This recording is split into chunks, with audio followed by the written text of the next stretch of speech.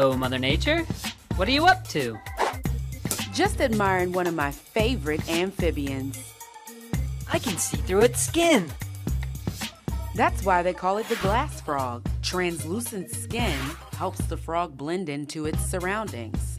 Wait, I can see through the eggs too. That helps the tadpole stay hidden from predators during this vulnerable life stage. But what if a predator spots them? They're completely unprotected. What? A swarm of wasps? Mother Nature, do something! Wait for it. Wait for it. The father frog protects the eggs. He's a ninja!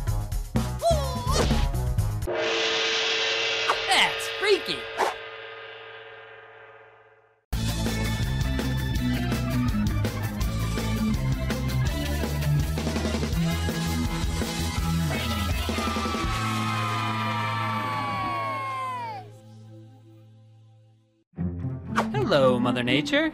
What are you up to? Getting ready for the show in South America. Wait a minute. Are those penguins? In the desert? Yes, Humboldt penguins. I thought penguins needed to be near water to find fish for their families. They do. It's just in this case, it's a long commute to get there. Whoa, that looks like a hundred foot drop. It is. And penguins can't fly. There is only one way down.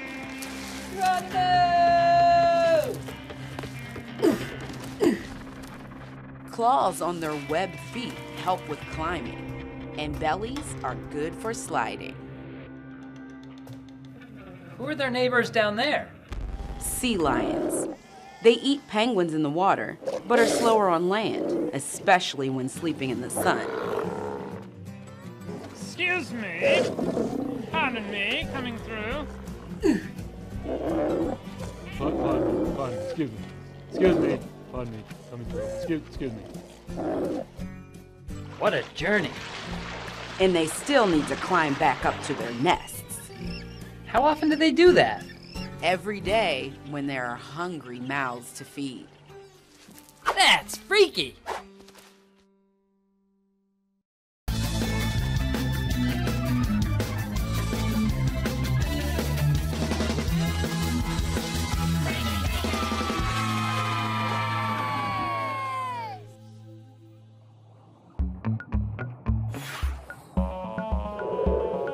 What a beautiful place, Mother Nature.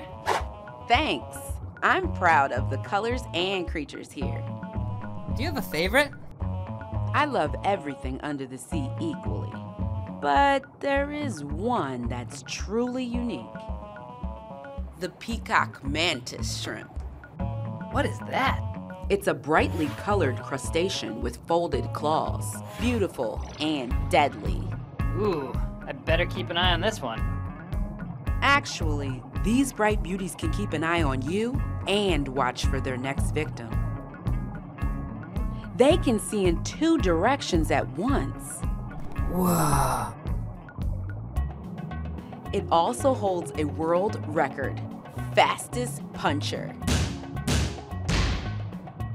It has fists? Kind of. It has spring loaded claws, also known as hammer claws. That sounds like it would hurt. It does. When they're not breaking through shells, they are fighting off anyone who enters their home turf. That is one dangerous beautiful creature. That's freaky.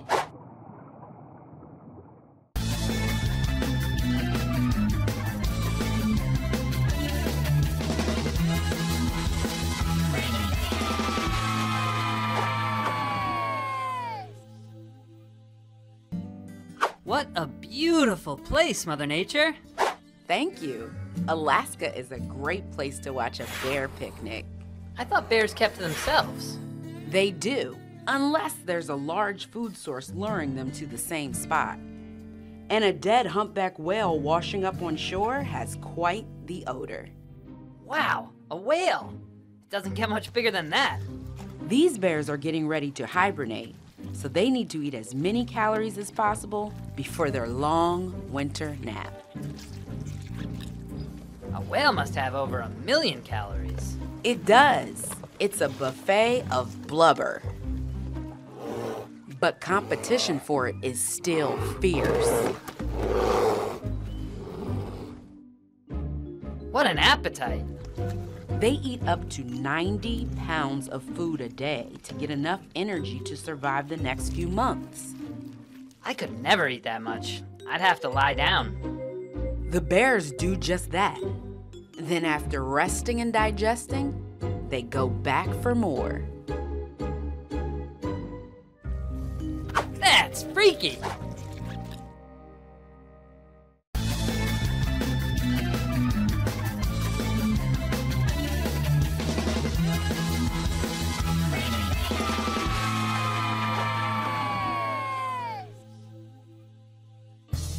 Hello, Mother Nature. What are you up to? Just waiting for the show to start. What show? A competition among the male sage grouse. Here come the competitors. Are they singers or dancers? A bit of both. They create sounds with their bodies. Ew. Not those kind of noises. Pops and whistles that come from large air sacs over their chest.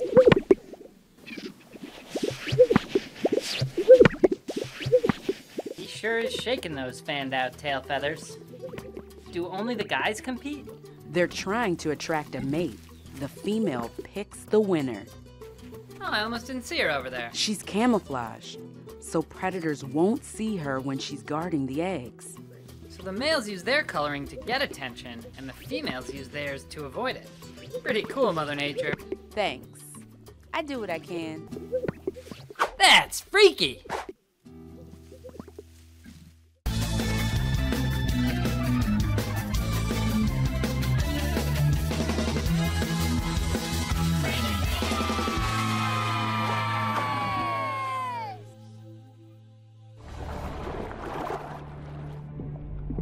Hey, Mother Nature. Who are you hanging out with today? I'm waiting for the gang to arrive. Or more specifically, to bloom. Flowers? Under the sea? Wait, that flower is moving. It's not a flower, it's a jellyfish. What? More specifically, a baby sea nettle jellyfish. The young sea nettle is the size of a grain of rice and can live at the bottom of the sea for years. And when light, temperature, and other environmental conditions are right, they begin to swim freely. Cool. How big do they get? In just a few months, they are up to 16 feet long. They sure do grow up fast. That's freaky!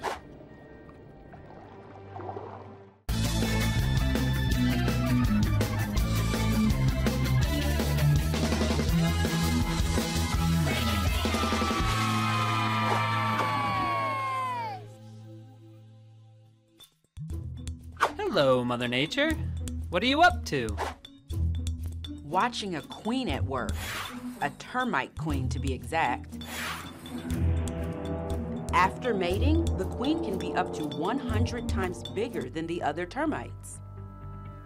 She is so full of eggs that she can hardly move and will never leave the nest. The workers take the eggs from her body as she lays them. Where are the eggs taken? They're taken to a nursery in the tunnels and are cared for by the workers. Do the workers have time to do anything other than caring for the queen and her eggs? They aren't called workers for nothing. Members of this highly organized super colony also collect food, build tunnels, and act as soldiers. It's all to continue the survival of the more than 150 million termite eggs that this queen can produce in her 15 year lifespan. That's freaky!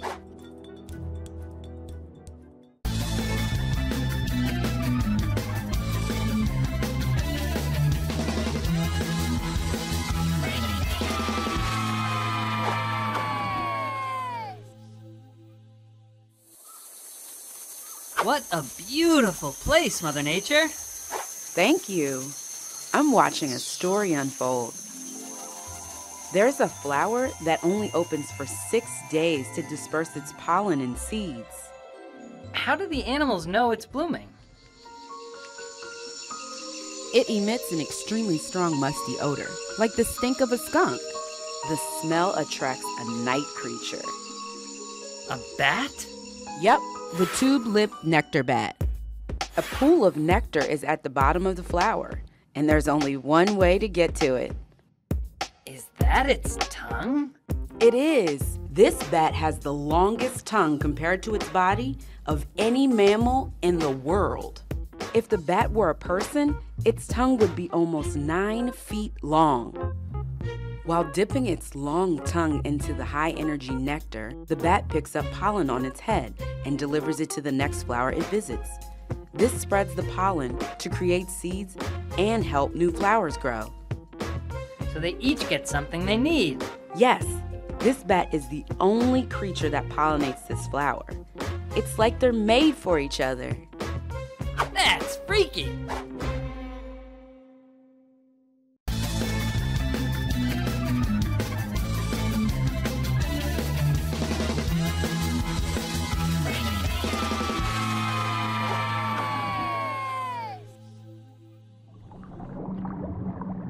Hey, Mother Nature. Who are you hanging out with today? The hairy frogfish. What a fun name. Is it part frog? No, it's a fish with a few extra adaptations. Okay. Does it have hair? Nope. Instead of hair, it's covered in thousands of fleshy spines called spinules that help it blend into its surroundings. Does it swim like a fish? Not really. The angled fins are best suited to walk and to anchor the frogfish to the seafloor. Does it eat worms? Well, What? It has its own worm? in a way. It has an adapted dorsal fin that acts as a fishing rod with a lure. Wow. A fish that goes fishing. It doesn't just attract and catch small fish. This furry fisherman stalks and swallows big fish too. Looks like rocks aren't as tasty as flounder. That's freaky!